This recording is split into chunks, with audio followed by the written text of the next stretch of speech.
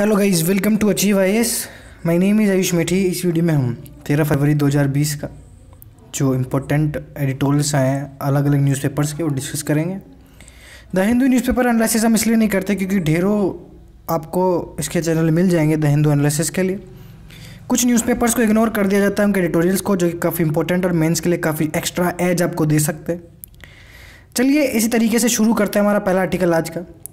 Solving India's water crisis water crisis की मैं बात करूँ तो वाटर क्राइसिस को ध्यान में रखते हुए अटल भूजा, अटल भूजल योजना आई, और भी कुछ स्कीम्स आई, जल शक्ति अभियान आया। तो सरकार काफ़ी इस चीज़ के प्रति चिंतित है, और सरकार अपनी तरफ़ से पूर्णतया कोशिश भी कर रही है कि इस समस्या का समाधान निकाला जाए। हमारे जो नल हैं, वो सूखे हो रहे हैं। वाटर जो हमारा है, वो ट्रेन से, टैंकर से ट्रांसपोर्ट हो रहा है, कहाँ, जहाँ जहाँ सूखा होता है, ट्रेन से पानी लाया जाता है। वाटर रिसोर्सेज जो हैं स्केर्ड स्कार्स जो रिसोर्सेज हैं, उनके लिए पुलिस प्रोटेक्शन लाई जा रही है। ये सारी चीज़ें हमारे देश के जो स्टेट्स हैं, जिनमें पानी की बहुत भयंकर कमी आ रही है, उनमें नज़र आएँगी। नदियाँ सूखती जा रही हैं ग्राउंड वाटर रिजर्व्स सूखते जा रहे हैं। वाटर बॉडीज़ कंटिमिनेट होती जा रही है, गंदी होती जा रही है अनसेफ होती जा रही है। इसी को ध्यान में रखते हुए फाइनेंस मिनिस्टर निर्मला सीतारमन ने कोशिश की कि किसी तरीके से वाटर क्राइसिस की जो बढ़ती प्रॉब्लम है, उसको सॉल्व किया जाए, जो कि एक स्वागतनीय योग्य स्वागतनीय कदम देखा जा रहा है। उस निर्मला सीतारमन के यूनियन बजट स्पीच की मैं बात करूँ तो इन्होंने एग्रीकल्चर सेक्टर के लिए 16 पॉइंट एक्शन प्लान लिस्ट किया है और पानी की शॉर्टेज के लिए मेजर्स बताए जिस, जो कि देश की हज़ार वाटर स्ट्रेस डिस्ट्रिक्ट में लागू होंगे। जैसे जैसे स्टेप्स लिए जाएँगे। जल शक्ति अभियान में बजट में भी पैसा बढ़ता जाएगा और अभी ग्यारह हज़ार पाँच सौ करोड़ रुपए जल जीवन मिशन को दिया गया। काफ़ी अच्छी बात है ये। इससे इनिशिएटिव्स काफ़ी अच्छे तरीके से बढ़ पाएँगे। और जो लार्ज कॉपरेशंस हैं कंपनीज़ हैं, वो भी इस चीज़ पे ध्यान दे पाएगी कि किस तरीके से वो वाटर क्राइसिस सॉल्व करने में मदद कर सकती है। वाटर कंजर्वेशन के लिए आपको कुछ पॉलिसी में चेंजेस लाने पड़ेंगे।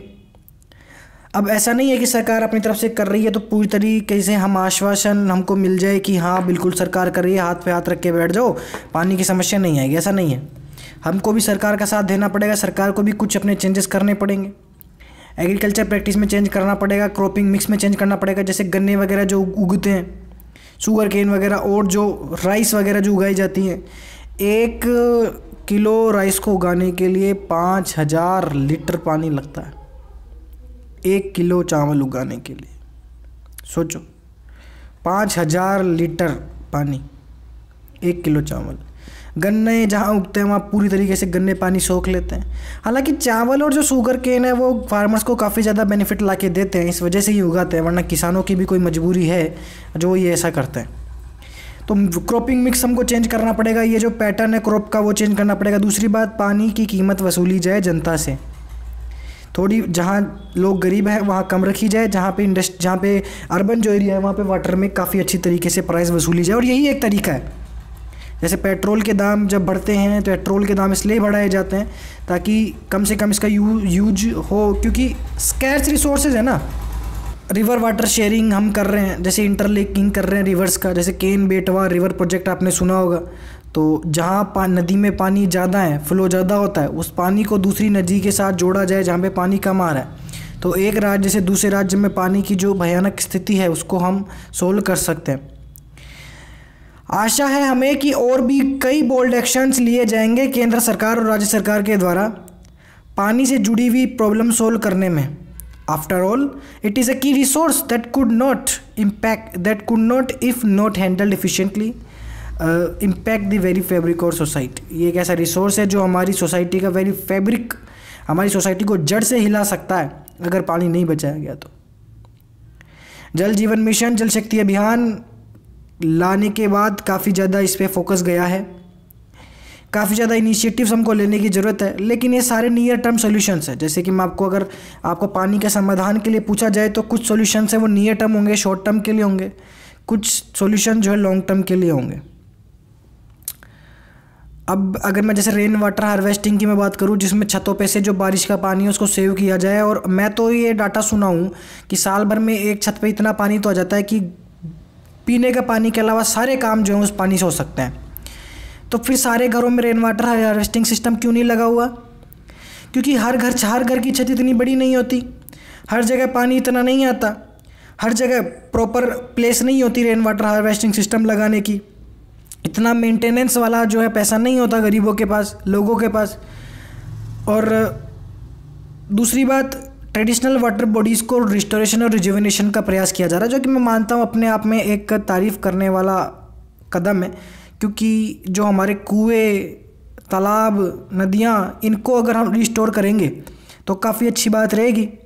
क्योंकि इनमें पानी पूरी तरीके से ग्राउंड लेवल ख़त्म हो चुका है। कम्युनिटी वाटर शेड डेवलपमेंट हो कम्युनी कम्युनिटी मिल के वाटर शेड को डेवलपमेंट करे, पानी बचाने का प्रयास करें। ये एक सब काफ़ी नहीं है। इनके लिए हमको अवेयरनेस प्रोग्राम चलाने पड़ेंगे स्वच्छ भारत अभियान की जैसे। और हमको ये बताना पड़ेगा कि पानी के अगर ख़त्म हो गया और पानी जिस तरीके से ख़त्म हो रहा है तो भैया आप भी नहीं बचोगे और कोई भी नहीं बचेगा। सस्टेबिलिटी अगर आपको चाहिए तो आपको यहाँ पे कंजर्वेशन की अर्जेंसी को फिल करवाना पड़ेगा। ये कहना पड़ेगा कि, ये समझाना पड़ेगा लोगों को कि ये जो रिसोर्स का मैनेजमेंट है, ये कलेक्टिव नीड है। ऐसा नहीं है पानी मैं ही पीता हूँ, आप भी नहीं पीते या फिर कोई आप, पैसे वाले हो तो आपको पानी मिल जाएगा। ऐसा नहीं है। ये कलेक्टिव नीड है। हर एक आदमी को अपनी तरफ़ से पानी को बचाने का प्रयास करना चाहिए। मैं बात करूँ कंपनीज़ की तो कंपनीज़ जो पैसा बचाती हैं सीएसआर के अंदर कॉपरेट सोशल रिस्पॉन्सिबिलिटी के अंदर, वो पैसा पानी वाले वाटर सस्टेनेबिलिटी इश्यूज़ में लगा सकती है। जैसे फॉर एग्जांपल वाटर एटीएम का भी इनिशिएटिव चल रहा है वाटर एटीएम तो इनमें पैसा कहाँ से आएगा? सरकार के पास अपनी पैसे की एक लिमिट होती है। लेकिन आपको पता है, कंपनियों में कॉपरेट सोशल रिस्पॉन्सिबिलिटी के नाम पे तीन परसेंट का, दो परसेंट पैसा लिया जाता है। पिछले तीन साल के, जैसे मैं कोई कंपनी हूँ, मेरी कोई कंपनी है, मैं तीन साल में जितना वो प्रॉफिट कमाई उसने, उसका एवरेज निकाल के दो परसेंट पैसा मैं मेरे को अपने कॉरपोरेट सोशल रिस्पॉन्सिबिलिटी के रूप में सोसाइटी में लगा नहीं है। ये कंपनी के लिए मैंडेटरी है और उस कंपनी के लिए इसका भी क्राइटेरिया है, जिसका टर्नओवर जिसका जो नेटवर्थ है पाँच सौ करोड़ से ऊपर हो टर्नओवर हज़ार करोड़ से ऊपर हो और प्रॉफिट पाँच करोड़ से ऊपर हो। रिपीट कर दूँ? वर्थ नेट वर्थ पाँच सौ करोड़ से ऊपर हो टर्नओवर हज़ार करोड़ से ऊपर हो नेट प्रॉफिट पाँच करोड़ से ऊपर हो, ये कंपनियों पे कॉर्पोरेट सोशल रिस्पॉन्सिबिलिटी लागू होती है और इन कंपनियों के तीन साल का एवरेज प्रॉफिट निकाल के दो परसेंट पैसा लिया जाता है और दो परसेंट पैसा सोसाइटी के सोसाइटी में लगाया जाता है। सोसाइटी की जो रिस्पॉन्स कंपनियों की जो रिस्पॉन्सिबिलिटी है सोसाइटी के प्रति, वो पूरी करने के लिए कई जो फंड्स हैं उनमें दिया जाता है एन में दिया जाता है डोनेशन किया जाता है। तो यहाँ पे राइटर कह रहे हैं कि उन पैसों को क्यों ना पानी के इनिशिएटिव्स में लगाया जाए। भाई, हम जितना पानी निकाल रहे हैं, उतना ही हमको पानी वापस हार्वेस्ट करना पड़ेगा और कंट्रोल यूसेज हमको करना पड़ेगा। जो आप देखोगे गाँव गाँव में जो मंदिर है, जहाँ पे तालाब रहते हैं, जहाँ पे खोद कुएँ जिनको बोलते हैं, कुंड जिनको बोलते हैं, इनको भी रिजनरेट करना पड़ेगा। और पंचायत और देखो, इसमें मैं सबसे बड़ी बात मानता हूँ कि डिसेंट्रलाइजेशन का बहुत बड़ा हाथ इसमें होगा। अगर पंचायत और म्यूनसिपलिटीज़ को पावर दी जाए कि वो वाटर बॉडीज़ की बाउंड्रीज़ की इंटीग्रिटी इंश्योर कर सकती है। जैसे अगर उसने वाटर बॉडी बना दी तो कोई उसकी जो है बाउंड्री को इंक्रोच नहीं करे, पानी ज़बरदस्ती लेके नहीं जाए, उसका मिसयूज नहीं करे, सब मिल के उसका यूज़ करे। अगर कोई ऐसा करने की कोशिश करता है, उसको पेनल्टी लगाई जाए, है ना? तो पंचायत और मल्टीपल्टीज़ को ये पावर दे देनी चाहिए।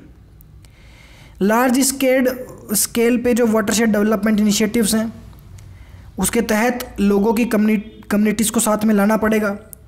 डैम्स बनाने पड़ेंगे ड्रेनेज बनाने पड़ेंगे, और मतलब पूरी तरीके से अवेयरनेस फेयर प्रोग्राम चलाने पड़ेंगे, तब जाके कुछ हो सकता है।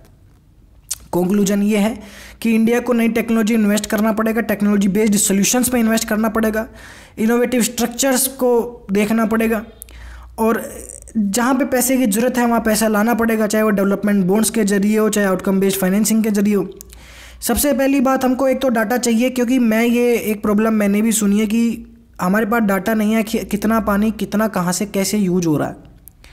जो जल जीवन जो मिशन है और जो मिशंस आए हैं उनमें पूरी तरीके से डाटा नहीं दिखाया जा रहा उनकी वेबसाइट्स पे गवर्नमेंट की वेबसाइट्स पे।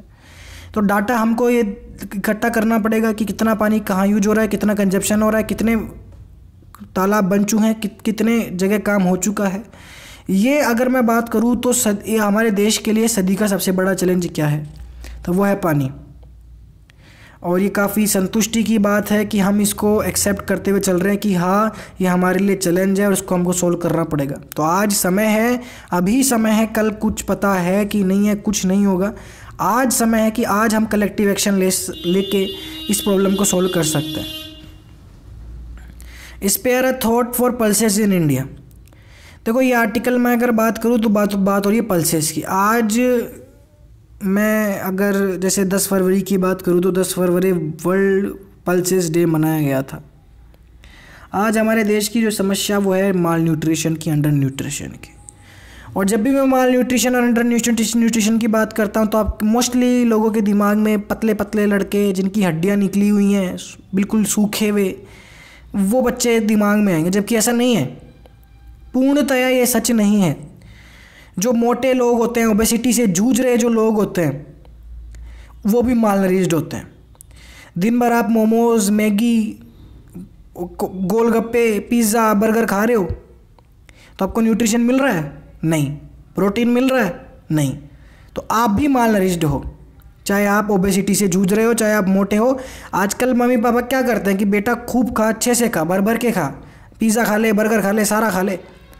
और लोग देख के क्या कहते हैं, देखो, खाने वाले मतलब जो है, अमीर घर का बच्चा है खाता पीता घर का बच्चा है, जबकि वो माल नरिज्ड का शिकार है, उसका सबसे बड़ा नुकसान किसको झेलना पड़ता है? बच्चों को। बच्चों की कॉग्निटिव एबिलिटी कम हो जाती है रीजनिंग की mathematical skills thinking capability logical reasoning capability कम होती जाती है।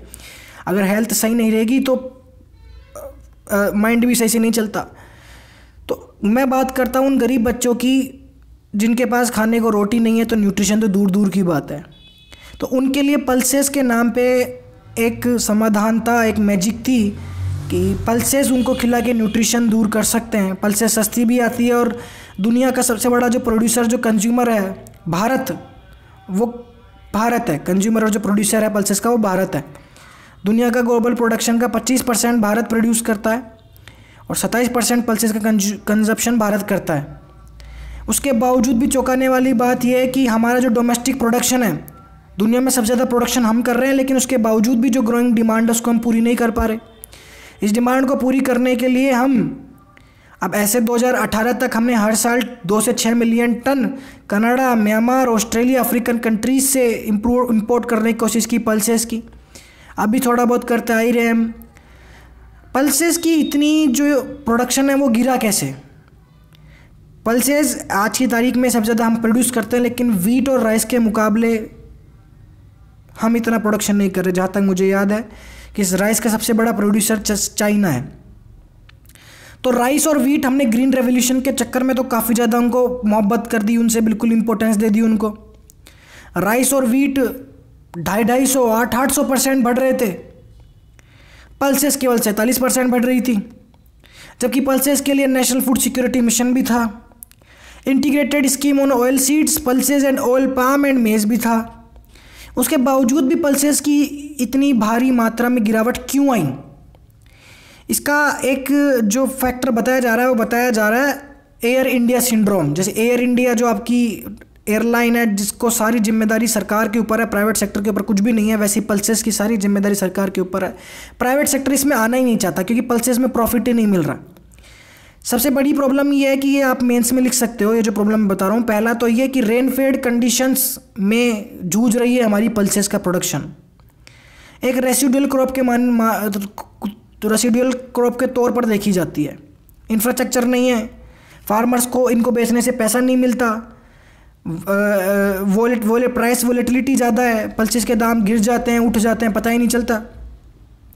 अच्छा एक तो सीरियल्स और पल्सेस में लोगों को फ़र्क नहीं पता। पल्स भी दाल होती हैं, सीरियल्स अलग चीज़ होती हैं। सीरियल्स में कार्बोहाइड कार्बोहाइड्रेट होता है, पल्सेस में प्रोटीन होता है, सीरियल्स ग्रास की तरह होती है, ठीक है, पल्सेस क्रॉप्स की तरह होती है, और सीरियल्स हम सबसे ज़्यादा प्रोड्यूस नहीं कर पाते, सीरियल चाइना प्रोड्यूस करता है।